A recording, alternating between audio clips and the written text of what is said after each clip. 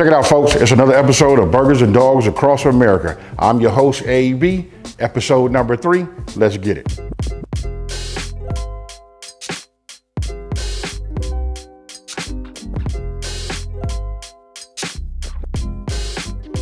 All right, so look, let's go over some of these ingredients, right? Obviously, we got our hot dog buns, right?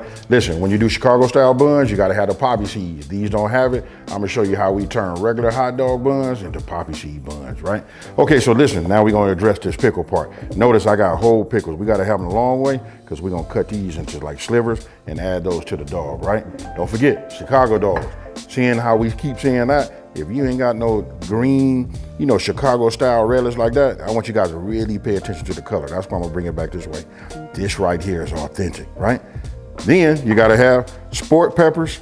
You got the poppy seeds. So look, I'll put the poppy seeds back here in the back because that's what we're gonna make out of that. And then we're gonna use the butter. I'm gonna show you guys just how to make it. And this right here is the celery salt. And you can't have a Chicago dog without having these right here, the beef wiener.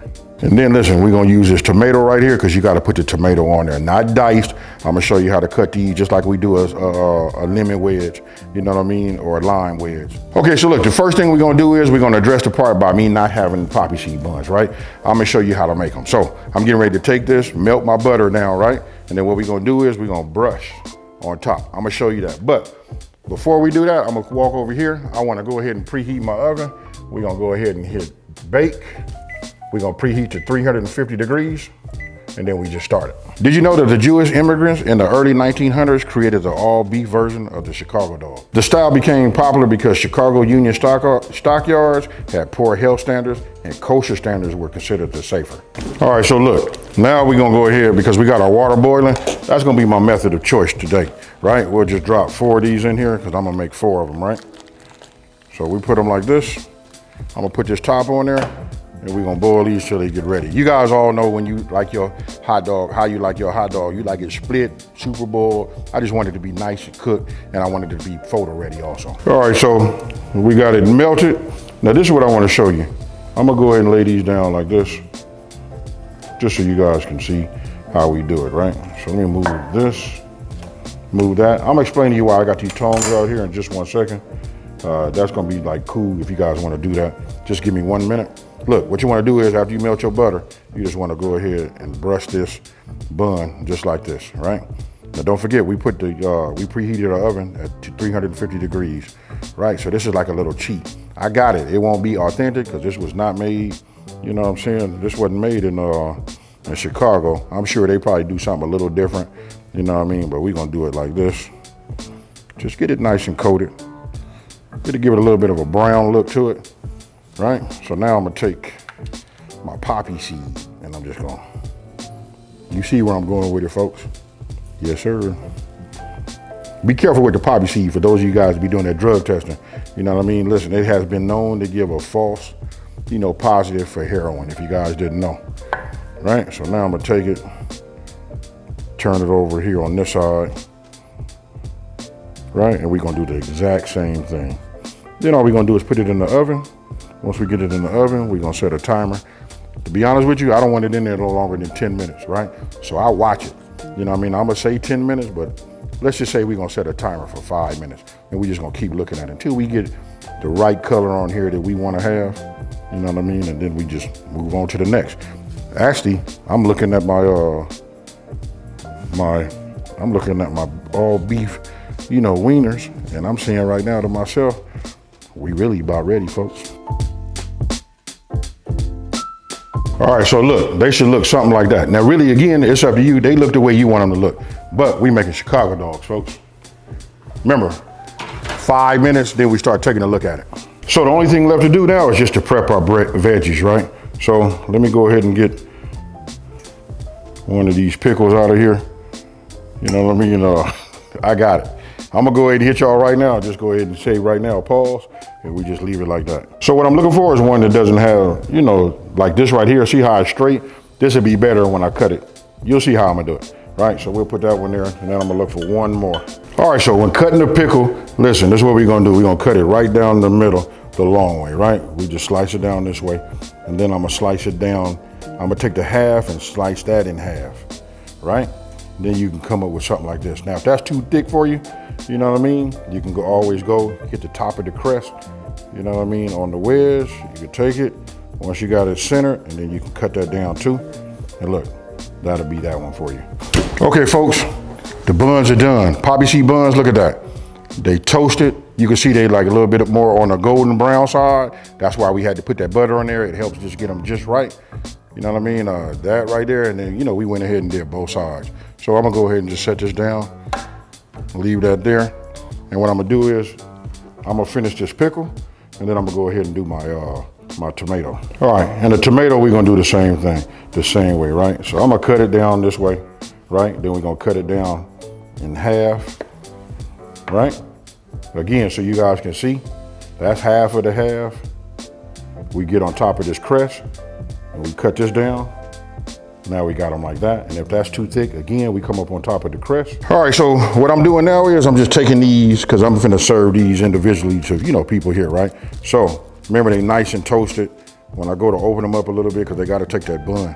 I mean, they gotta take that, I'm gonna say the wiener, pause, all of that, right?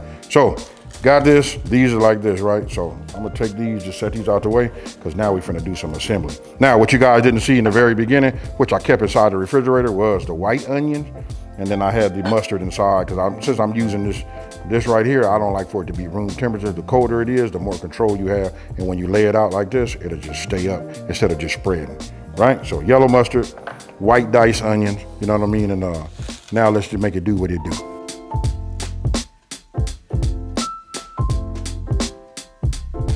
Okay, so look, I told you guys I was gonna explain about the tongs, right? Tongs are not just for me to take the, you know, the hot dogs out of the water and then to put them in the bun, right? Listen, if you guys wanna steam a bun, you can always take a bun like this, go ahead, put it down the middle, like this, right? As your water is boiling, check this out. You can hold this up over the top like that, and the steam from that goes up in this and softens up the bun and gets it nice, warm, and steamy. That's a little pro tip for you guys who want to go ahead and level up everything, right?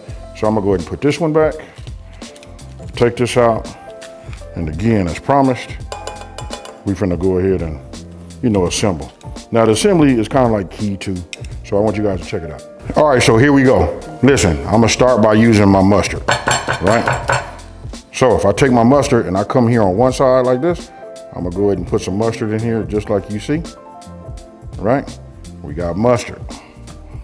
Now, next thing I'm getting ready to do is I'm gonna come over here to one of my slivers of the pickle. It's up to you. If you like them thick, you guys can use like the thicker ones, you know what I mean? Or you can use a thin one. I'm gonna go ahead and just put this right here like that, right? This way you see the pickle and you can still see the mustard, right? So the next thing we're getting ready to do is we're gonna take some of our uh, tomato wedges and I'm gonna go ahead and just wedge these right here just like you see folks. We got to work with this relish too. All right, so let's see.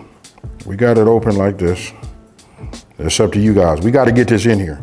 So I'm gonna go ahead, get some here, and now we're gonna just start decorating. I hope my hand's not in the way.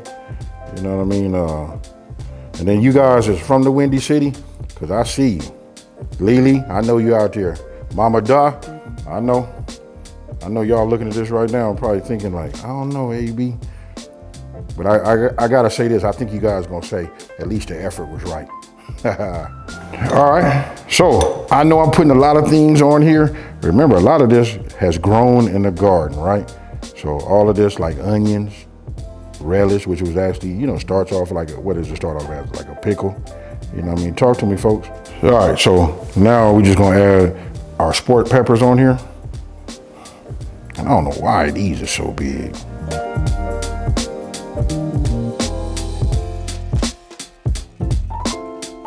Now, if you look at it, the toppers are said to make the hot dog look like it's been dragged through the garden. So listen, that's why most people don't put ketchup on it. All right, it wouldn't be complete without the celery salt, right? So I just give it a little, ho, that's it right there, folks. And that there is how you make a Chicago dog. All right, folks, so look, take a look at this right here. This is what you want to see. They should look just like this. And don't forget, the full ingredient list, how to make it, all of that, and the printable uh, recipe is on my website. That's smoking and grilling with and that's W-I-T-A-B.com. Now listen, there's no need for me to over talk it. This is the Chicago dog. You guys gonna love it. So cheers, y'all.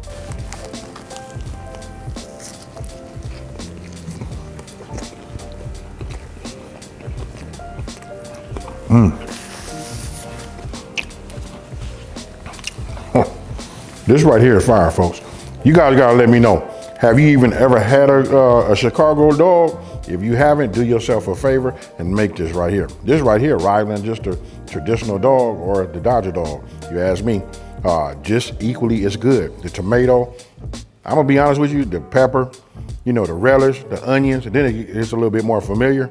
You know what I mean? Then we got the, the pickle in here. All of that just goes together, you know. Uh, so that's what kind of like makes me think of, of it being like a uh, like some type of like a, a, veggie type dog. But I can tell you this, this is a lethal combination. So you guys see it. Listen, I'm very, very hungry. You know what I mean? This is the kind of uh, meal I like to sit down with with my Kool-Aid. But guess what? I just made myself some iced tea. You know what I mean? I did that homemade, put in your window, get the sun, the whole shebang. Now, you guys let me know what would you do to level this up. You see this version right here, I didn't have to do nothing to it. I like the Chicago dog just the way it is. Now, talk to me down in the comment section below. Hey, let me tell you what's happening next week. I'm gonna tell you it comes from the Lone Star State.